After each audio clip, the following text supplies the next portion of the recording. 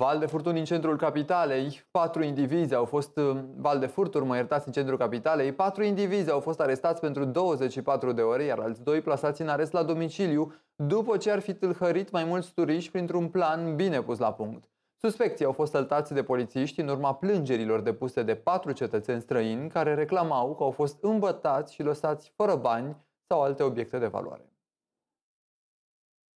Gruparea infracțională, formată în mare parte din lucrători de la diverse baruri și restaurante din centrul vechi al capitalei, avea un plan bine pus la punct prin care își selecta victimele. Vizați erau în special turiștii străini neînsoțiți sau care nu făceau parte din grupuri prea mari de vizitatori. Sub pretextul unei nopți de neuitat, turiștii erau ademeniți în localuri în care de cele mai multe ori erau întâmpinați de hostese care își seduceau victimele să consume alcool peste limită. Profitând de starea lor euforică, le dublau dublau sau triplau nota de plată. Aceasta era una dintre cele mai des folosite metode de furt, dar nu singura. Pierduți în aburii alcoolului, turiștii erau lăsați fără carduri bancare, telefoane sau alte obiecte de preț. Mai mult, se pare că angajații erau atenți în momentul în care victimele introduceau codul PIN, apoi, profitând de faptul că se aflau în stare de inconștiență de la prea mult alcool consumat, le furau cardul și făceau tranzacții în contul societăților comerciale. Întreaga operațiune de furt a ieșit la iveală atunci când un turist a făcut plângere la poliție după ce a observat că într-o singură noapte de pe cardul său au fost făcute 16 tranzacții suspecte care depășeau 30.000 de euro. Un alt turist a sesizat poliția după ce ar fi fost sequestrat de niște indivizi necunoscuți într-un club din centrul vechi, asta după ce i s-au furat actele, telefonul mobil și portofelul. În total, patru turiști străini au căzut victime ale grupării infracționale, respectiv doi britanici, un german și un american.